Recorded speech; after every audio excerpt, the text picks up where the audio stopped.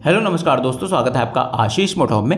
अगर आपकी जेब में साढ़े पाँच लाख रुपए हैं और आप एक सेवन सीटर कार लेने की सोच रहे हैं तो ये सपना सिर्फ़ आपका मारुति ही पूरा कर सकती है, क्योंकि उसके पास है मारुति इको 2022 तो इसी के बारे में आज हम कंप्लीट डिटेल में बात करेंगे, इसके एक्सटीरियर से लेकर इंटीरियर तक इंजन, फीचर्स क्या क्या आपको एक्सटीरियर और इंटीरियर लुक्स मिल जाते हैं। तो चलिए सबसे पहले स्टार्ट कर लेते हैं कलर ऑप्शन से। तो इसमें आपको silver grey blue midnight black white up down red ये आपको पाँच कलर ऑप्शन देखने को मिलते हैं। अगर वेरिएंट्स की बात करें तो इसमें कोई वेरिएंट्स नहीं आते हैं। आप स्टैंडर्ड या एसी मतलब दो तरह से इसको ले सकते हैं। अगर इसके प्राइसिंग की बात कर ले तो चार लाख तिरसठ हज़ार एक्स शोरूम से इसका बेस वेंट स्टार्ट होता है। अगर टॉप वेंट की बात करें तो पाँच लाख चौरानवे हज़ार एक्स शोरूम तक जाता है। एंड इसमें आपको सीएनजी का भी ऑप्शन देखने को मिल जाता है। ये काफ़ी बढ़िया चीज़ है। तो काफ़ी अच्छे माइलेज के साथ आप इसको सर्विस सेंटर कार को ड्राइव कर सकते हैं। एंड ये खाली पेट्रोल में आती है, कोई डीजल वगैरह का ऑप्शन आपको नहीं मिलेगा। अगर इसके इंजन के बारे में बात करें तो इसमें आपको सिर्फ़ एक ही इंजन ऑफ़र किया जाता है, बारह सीसी का पेट्रोल इंजन जो बहत्तर बी की पावर और अट्ठानवे न्यूटन मीटर का टॉक जनरेट करता है और सोलह से अट्ठारह के एम तक की आपको माइलेज देखने को मिल जाती है। की की बात करें तो ऐसी कुछ आपको नॉर्मल की ऑफ़र की जाती कोई सेंटर लॉकिंग आपको नहीं मिलती, इसकी की में। अब चलिए बात करते हैं इसके एक्सटेयर से, और एक्सटेयर में सबसे पहले बात करेंगे इसके फ्रंट प्रोफ़ाइल से। तो जब आप फ्रंट से देखते हैं मारुति इको को तो ऐसा कुछ आपको पूरा फ्रंट प्रोफ़ाइल मिलते हैं। यहाँ पे आपको सुजुकी की ब्रांडिंग सुजुकी का यहाँ पे लोगो दिया गया है बड़ा सा अगर ग्रिल की बात करें तो ऐसा कुछ आपको ब्लैक में पूरी ग्रिल मिलती है कोई क्रोम ट्रीटमेंट आपको ऑफ़र नहीं किया गया है। ग्रिल के बाद, अब चलिए बात करते हैं इसके हेडलैम्प यूनिट की। तो यहाँ पे आपको फुल हेलोजन सेटअप दिया गया है। टर्न इंडिकेटर की प्लेसमेंट भी आपको इसी में देखने को मिल जाती है। जब आप नीचे आते हैं तो नीचे आप देखेंगे यहाँ पे आपको फॉग लैम्प्स की प्लेसमेंट नहीं मिलती आप आफ्टर मार्केट या एसेसरीज के पार्ट में लगवा सकते हैं। एंड रेडिएटर ग्रिल को अभी आप देख सकते हैं, पूरी ब्लैक फिनिश में यहाँ पे दी गई है। एंड यहाँ पे हॉर्न की प्लेसमेंट भी आप देख सकते हैं। तो ये थे ओवरऑल इसके फ्रंट लुक्स मारुति ईको के। एंड फ्रंट का फेस देखें तो ऐसा कुछ नज़र आता है। अगर इसके ग्राउंड क्लियरेंस की बात करें तो इसमें आपको 160 मिलीमीटर mm का ग्राउंड क्लियरेंस ऑफ़र किया गया है। एंड ऊपर की बात करें तो यहाँ पे आपको वाइपर दिए गए हैं विद वॉशर एंड इसमें जो बोनट एरिया होता है काफ़ी कम रखा जाता है जैसा कि आप देख सकते हैं। साइड प्रोफ़ाइल की बात करें तो यहाँ पे आपको थर्टीन इंच के स्टीलिंग ऑफ़र किए जाते हैं। यहाँ पे कोई व्हील कवर्स आपको नहीं मिलते हैं। यहाँ पे सस्पेंशन का ट्रेवल इतना कुछ यहाँ पे दिया गया है।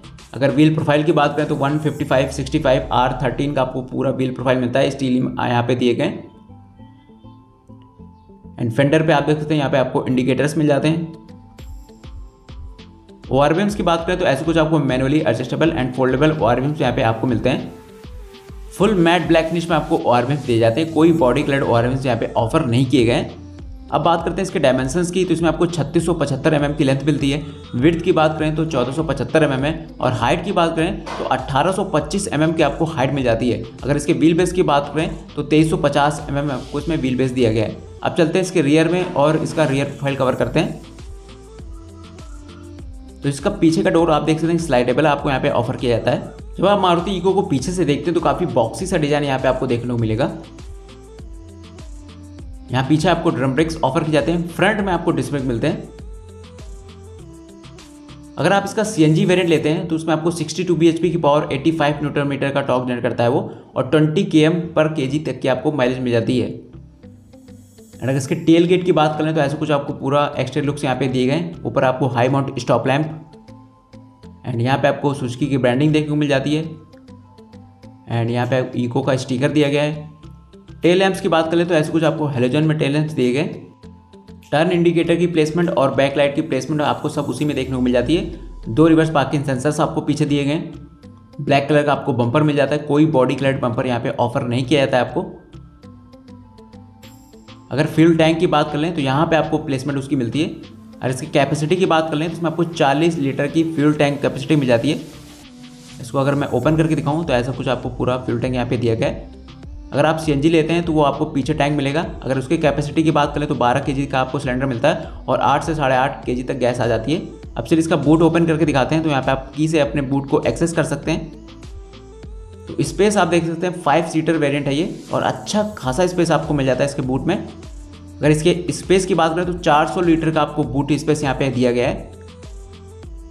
अगर आप सी एन जी वेरियंट लेंगे तो वहाँ पे आप थोड़ा सा बूट स्पेस कम हो जाएगा। एंड अगर इसका आप सेवन सीटर वेरियंट लेते हैं तो उसमें बूट स्पेस और भी कम आपको देखने को मिलेगा। तो अच्छा खासा लगेज आप यहाँ पे रख सकते हैं। अब चलते हैं इसके सेकेंड रो सीट्स पे और देखते हैं क्या कितना कुछ स्पेस आपको मिलता है। यहाँ पे मैट ब्लैक में इसमें आपको door handles and slidable doors यहाँ पे आपको मिलते हैं। जिनको स्लाइड करके आप पीछे ओपन कर सकते हैं। एंड अभी यहाँ पे फाइव सीटर वेरियंट को देख रहे हैं। अगर आप सेवन सीटर वेरियंट लेते हैं तो बीच में आपको दो सीट्स मिलती हैं और बाकी की तीन जो है आपको पीछे मिलती हैं। एंड ये पूरा लेग रूम आप देख सकते हैं। दो हेडरेस्ट दिए गए जो कि फिक्स्ड हैं।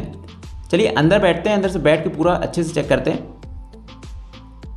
तो लेग रूम आप देख सकते हैं, इतना कुछ आपको यहाँ पे दिया गया है।